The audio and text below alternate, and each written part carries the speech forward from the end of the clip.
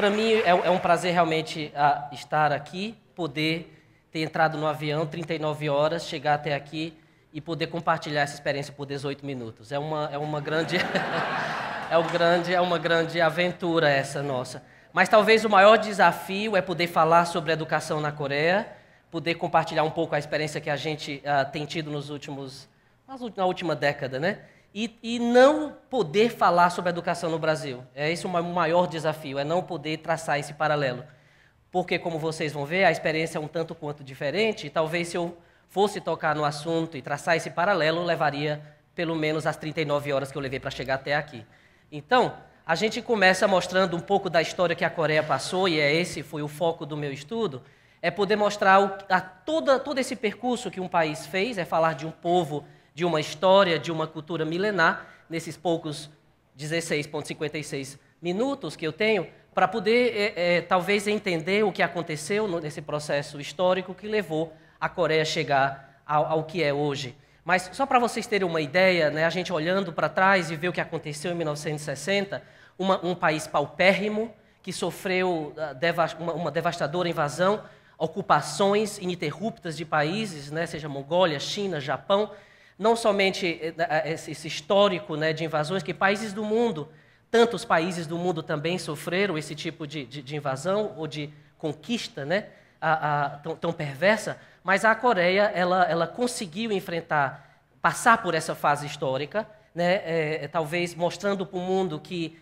que, devastado de uma guerra, esse, esse passado histórico poderia ser transformado, de certa forma, em tão pouco tempo. Eu acho que a maior conquista que o povo coreano tem para compartilhar com o mundo hoje é poder ter passado por todo por todo essa, essa história né, de, de ocupação, de invasão, de devastação, de um genocídio uh, cultural que, que a Coreia passou com a invasão do Japão, perdendo tantos dos valores culturais que eles tinham, perdendo a própria identificação cultural, a própria língua, né, os nomes em, em, que, em que, que, cada, cada indivíduo tinha, essa, essa, essa identidade cultural foi, foi destruída né, depois da invasão. Mas só para a gente ter uma ideia de, de, como isso aconteceu e do fascínio que é para a gente poder fazer parte dessa história, né, né? na realidade, eu, em, em 11 anos eu vi isso acontecer, eu vejo isso acontecer. Eu moro na cidade do futuro, onde está sendo construída né, uma, uma, grande, uma grande, talvez, um momento histórico, o maior projeto urbano que a humanidade já, já já teve a ousadia de construir, e eu faço parte dessa, dessa, desse momento histórico, né? se sentir pioneiro, se sentir, de certa forma, fazedor de, de, de história, isso realmente é uma, é uma experiência fascinante. É essa a minha, é o objetivo meu aqui, é poder compartilhar um pouquinho de como isso aconteceu e quais foram, talvez, esses elementos que, ajuda, que ajudou a Coreia a chegar ao ponto que chegou hoje. Para vocês terem uma ideia, em 1960, ontem, né, a Coreia tinha, tinha um, um, um PIB tão baixo, né, de, uma, de uma pobreza, né, de uma, de uma, se a gente fosse talvez comparar hoje, eu coloquei aqui Afeganistão como, como um exemplo de país que, né, que a Coreia estava bem mais pobre nos anos 60 né, e que chegou, che, chegou aonde chegou hoje, dando essa grande lição de progresso econômico né, por, por conta de uma de um elemento, talvez, que a gente precisa, de certa forma, entender aqui.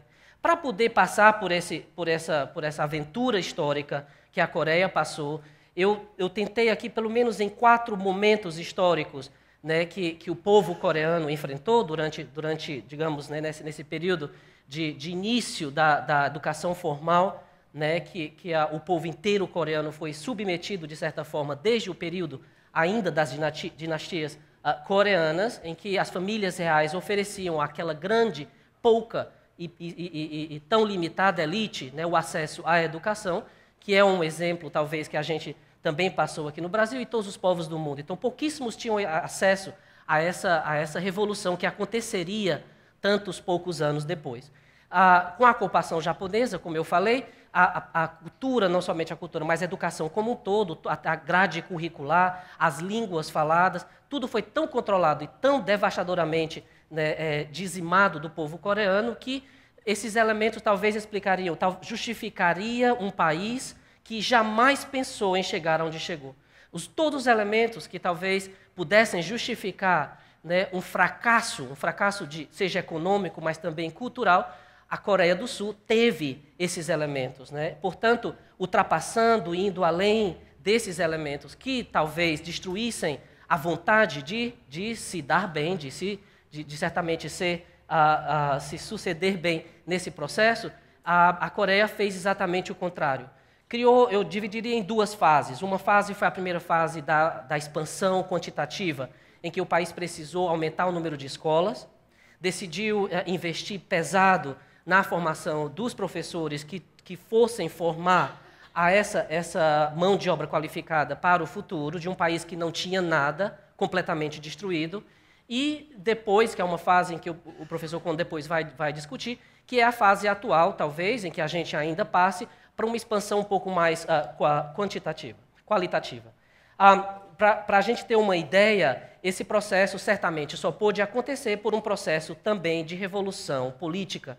Né? Como o nosso país, em tantos países do mundo foi por conta de um processo de autonomia democrática em que o povo teve a chance de encontrar-se diante das tantas opções que foram apresentadas para o desenvolvimento. Né? Esse, esse, esse progresso, digamos, essa, esse sucesso econômico que a Coreia do Sul passou, se deu por conta, eh, sem dúvida, de um foco, de uma prioridade que foi dada antes de, de se pensar quais seriam as áreas de desenvolvimento econômico que o país iria investir no futuro, antes de decidir essas, essas investiduras, né, do, do ponto de vista de política uh, federal, foi a decisão de investir naquilo, a única opção que o país tinha na época, que era educação. E, essa, e essa, esse processo, né, esse ciclo que eu, que eu tentei criar aqui, ela, ela levou a educação a ser, a ser o foco dessa, desse progresso econômico, mas foi também por conta da educação que levou a reinvestir no próprio desenvolvimento. Da educação, o foco dado como política nacional à educação foi por conta desse progresso também do sistema educacional que levou a Coreia a, a crescer, a desenvolver. E é hoje, voltando para as fases históricas que o país enfrentou, é hoje voltando a essa fase de expansão também qualitativa que, o, que, que o, a, a Coreia resolveu, de certa forma, investir no momento. A única, única certeza que o, que o governo federal coreano tinha, ainda nos anos 60, nos anos 70, que foi do período de expansão econômica do país, é que precisaria de uma educação de qualidade. Não tinha nenhuma outra dúvida, não tinha nenhuma outra prioridade no governo, além de investir pesado na educação de qualidade. Não somente a educação como toda, oferecendo uma educação universal, em que todas as crianças tinham acesso a, a, a uma educação mais formal, mas aquela educação só poderia se subsistir, só poderia ser sustentável se fosse uma educação de qualidade. Tanta, tantos desses fatores a gente poderia passar horas comentando, a demanda de mão de obra qualificada, por exemplo. Quando o país decidiu, ainda nos anos 70, de investir pesado nas, nas áreas em que o mundo inteiro não se preocupava na época, como a, a indústria pesada, da indústria pesada à indústria é, é, mais, mais uh, da, daquilo menor que se pode criar, como um, um microchip. Então a gente sempre fala né, do navio de um carro, que a Coreia tanto investe até hoje, a, a essa nanotecnologia. Então, essa, essas eram as áreas que nas, nos anos 70 não se discutiam ainda, pelo menos a nível de, de, de Ásia, né, na época de, claro, o Japão competia já com, uma, com, com certas áreas da tecnologia, mas o governo coreano entendeu que era preciso investir e chegar a ser número um em áreas que o mundo inteiro não se preocupava na época. O sistema educacional foi consequência, essa expansão aconteceu como consequência da necessidade de uma mão de obra tão qualificada que precisava para essas indústrias nascentes na época. Existe um fator na cultura coreana que eu me fascinou na época do meu mestrado como, como, como um, educador internacional, que eu, que eu queria aprender. Eu, sempre quem estuda educação internacional, economia internacional, o caso Coreia sempre, sempre é discutido, pelo, pelo, do ponto de vista do sucesso que atingiu em tão pouco tempo e dos desafios que acontecem até hoje. Mas ah, quando eu estudava, eu, eu tinha esse fascínio de entender, ainda nos Estados Unidos, de, de como isso se deu, de como isso aconteceu. Vindo de uma família de educadores, né, tendo, tendo pai e mãe que trabalham no Ministério da Educação no Brasil, eu queria entender por que, que o meu país não, che, não, não conseguia atingir esse, esse, não conseguia entender a necessidade de uma educação de qualidade. Por que, que nunca foi prioridade né, a educação no nosso país. Eu, eu, eu, pensava assim, um dia, quando eu chegasse a tomar decisões, a ser um professor, eu poderia entender os porquês que eu perguntava ainda quando criança, quando eu queria ser professor desde, desde pequeno. Mas é, existe, existe um fator, eu acredito que para qualquer discussão que a gente possa vir a ter, seja ela na parte econômica, seja ela na parte política, mas também educacional, existem aspectos culturais que a gente não consegue, talvez, entender se não imergir imergimos-nos nas, nas, culturas do mundo de hoje. Né? Então, eu acho que para mim a maior experiência foi ter 11 anos atrás, quando eu decidi lá morar, foi de tentar ao máximo né, esse 130% de imersão cultural para poder entender como essa mágica dessa educação coreana aconteceu e que transformou o país. Então, para mim, esse, esse, foi descobrir que existem certos aspectos culturais dentro do, do, do, do da, da íngreme, da, da, da máquina, da máquina do pensamento coreano, que a gente, como qualquer outro, talvez, forma de pensar, a gente talvez consegue entender superficialmente, mas somente imergindo, talvez, na cultura, a gente consegue, consegue um pouco entender como isso se dá. E é um pensamento realmente que vem de, de é mais confucionista. A Coreia é o país mais confucionista da Ásia, para vocês terem uma ideia, no sentido de tantas, né, apesar de, de, de Confúcio ter, ter trazido essa, essa essa versão mais chinesa, mas na Coreia foi tão implementada, hoje em dia ainda tá, tá, se, se, preserva essa, esse pensamento, que tem seus lados tão bonitos, tão positivos, como também dos desafios que, a, que, essa, que essa, cultura hoje traz. Mas são, são, são contextos, são, são, são talvez elementos dessa educação de qualidade que o governo coreano, desde o princípio, na instalação desse processo, quando começou o processo de desenvolvimento dessa mão de obra qualificada, resolveu investir pesado. Não se pode entender que uma, um país chegou ao, ao, ao, nível de educação que hoje é, pensando que um professor pode ser remunerado como ele é no nosso país. Então a gente, a gente se ilude em pensar que os nossos os grandes professores, que nós temos exemplos tantos de grandes professores, que têm que além de uma paixão pela, pela, pela educação, a gente a está falando aqui de uma elite tão pequena né, da nossa sociedade que realmente a gente pôde se investir na educação e, e sair para o mundo, descobrir novos, novos horizontes, mas quantos e quantos professores nas redes públicas do nosso imenso Brasil né, é, é, mal têm a, essa, a, a, a condição de, de, de, poder chegar até a escola com medo de ser assaltado no caminho? Quer dizer, que, que nível de vida, como a gente tem a ousadia, talvez, de, de querer exigir do professor nosso de escola pública essa educação de qualidade. Então, o governo coreano, desde o princípio, entendeu que é preciso traduzir essa, esse, esse, essa prioridade na educação em tudo aquilo que fazia, que é exatamente o contrário do nosso país. Ah, ainda voltando, né, como tudo isso aconteceu, esses, esses tantos elementos que, que, que ajudou a Coreia a chegar a esse nível né, avançado, seja no progresso econômico, mas também no sistema educacional que o país hoje tem. É, é, tantos elementos, por exemplo, quando voltando a essa questão da educação de qualidade, não, não adianta somente a gente querer investir tanto na educação de base, oferecer uma educação que não, não somente de, de, de não tão garantida qualidade, a educação de base, mas é preciso também garantir o sustento desse nível educacional da universidade, a pesquisa, a pós-graduação.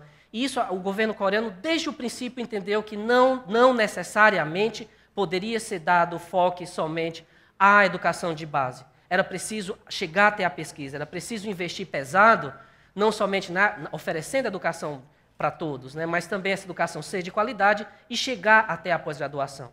O país hoje tem o maior, o segundo maior número de universitários do mundo. Né, significa dizer que o nível educacional é tão alto que agora a preocupação é como talvez inovar na educação coreana elementos que não, durante a história não pôde ser, ser tão investido. Então é que a gente vai ouvir um pouco depois. Essa discussão que a gente vai ouvir um pouco depois, ela somente acontece porque o país já chegou no nível tão avançado né, de, de, educação, nível também político, econômico, que, que a gente consegue encontrar certos elementos por que deu certo lá. Como eu falei que não ia traçar um paralelo entre o Brasil e a Coreia, para não dizer que eu não vou fazer isso, vocês, talvez lendo esses elementos, por que, que deu certo lá, para mim é por que, que não dá certo aqui. Tá? Eu acho que se a gente puder, talvez, identificar certos elementos, um bom planejamento educacional, como eu falei, tá? são políticas sérias de, uma educa... de um povo que não tem outro foco além da educação, Não existe nenhuma prioridade, seja de família, do governo, do professor, de, de, de poder formar essa, de poder oferecer essa educação de qualidade, tá? em qualquer nível que a gente possa, possa se, se referir. A número dois, atenção à educação de base comércio superior, que eu falei. Uma remuneração digna do professor. O professor é tratado, claro, historicamente, como, como membro da família real. A gente entra numa sala de aula, é reverenciado pelo aluno. Então, poder, poder pensar que esse, que esse, claro, esse aspecto cultural que a gente jamais vai poder implantar, transplantar para o nosso país, porque não é tão fácil assim, não existe nenhum elemento cultural que a gente possa magicamente jogar no, no, no, outro canto do mundo e fazer acontecer isso.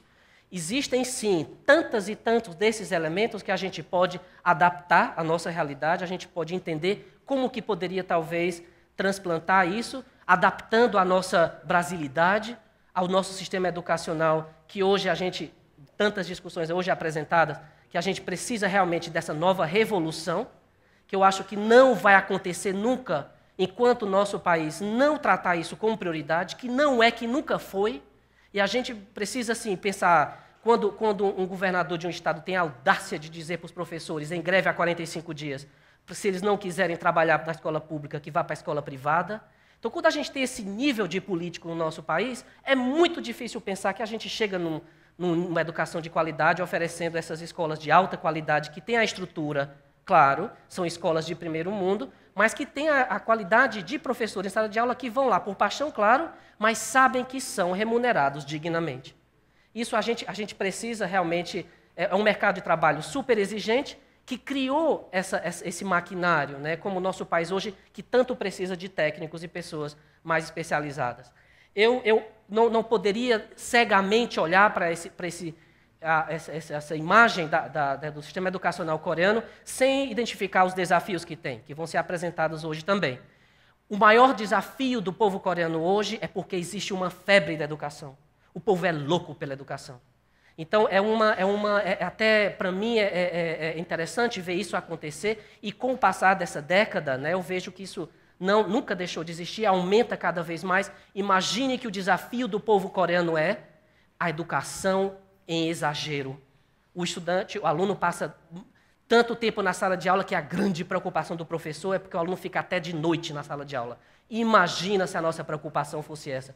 Eu fico pensando como seria bom se o nosso desafio de hoje é que o aluno chegasse em casa à, meia-noite, cansado de tanto, de tanto ter ficado na sala de aula. Claro que agora a, preocupação é como tra transformar essa educação de uma forma mais inovativa, uma, um pouco mais moderna. Mas é sem dúvida, eu acho que o, o, o, essa febre, o exagero da educação coreana, ela, ela, ele aconteceu de certa forma paulatinamente durante esses anos de transformação econômica e que levou o país, claro, a chegar onde chegou. A era do futuro, para onde o que, que precisa, talvez uma globalização de, dessa educação, os alunos indo para fora, os próximos passos a serem dados, eu acho que os grandes passos que, que a Coreia tem a dar é, é talvez tratar essa educação tal, inovando, eh, transformando um pouco mais, usando a tecnologia, sem dúvida, o país de maior conectividade do mundo, utilizar talvez melhor essa, essa, essa tecnologia, a informação, a, de uma forma talvez mais, não sei, mais prática, mais, mais animadora na sala de aula, que o aluno saia às 11h30 da noite, Legalmente pode ficar até as 11 até a meia-noite. Eu dei uma aula até as 11h45 da noite aos domingos. Mas saí dessa sala de aula talvez tão animado quanto, quanto entrou. Eu também tenho um sonho, professor. O meu sonho é poder voltar ao Brasil. Eu volto uma vez por ano e fico duas semanas em casa. E volto para a Coreia tentando entender como é que o meu país não conseguiu chegar na, na, e, e, não vejo chegar a, esse, a, esse, a metade de um nível como a Coreia chegou em tão pouco tempo. O meu sonho é poder voltar para o meu país um dia e dizer. Alguém, sempre, a pergunta é sempre a mesma: por que, que você foi para a Coreia? Por que, quanto tempo você vai ficar lá? Quer voltar para o Brasil? Eu nem sei dizer. Eu não sei responder. Sei dizer por que, que eu fui para lá, porque eu sonhava em entender essa educação. Voltar para o Brasil, eu só posso voltar para o Brasil, eu acho, um dia, quando eu poder, e eu respondo isso sempre, quando eu tiver a chance de poder tomar decisões. Porque eu não consigo fazer parte de uma, de uma comunidade que talvez reclama, como a gente ouviu hoje, fica nessa, nessa reclamação eterna de ver as coisas acontecerem e não poder transformar. A minha maior revolta como educador é poder é não poder voltar para o meu país aos, aos, aos natais, né, e passar essas duas semanas com o povo que eu mais amo, né, que são os meus pais e minha família, e poder entender, ah, existiu uma mudança na, no, no, Brasil. Aconteceu alguma coisa assim.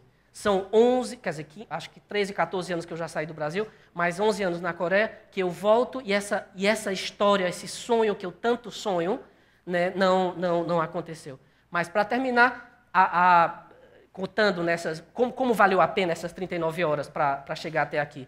Porque a gente pode, pode entender como uma, revolução aconteceu, o que, que a gente precisa talvez para fazer essa revolução acontecer no nosso país e poder sonhar junto. Então, a minha, minha vontade é dizer para vocês: o meu sonho é, é, é, poder ter essa chance né, de compartilhar essas experiências e a gente poder sonhar junto com um Brasil que talvez chegue um pouco tanto quanto parecido com, com a Coreia. Obrigado.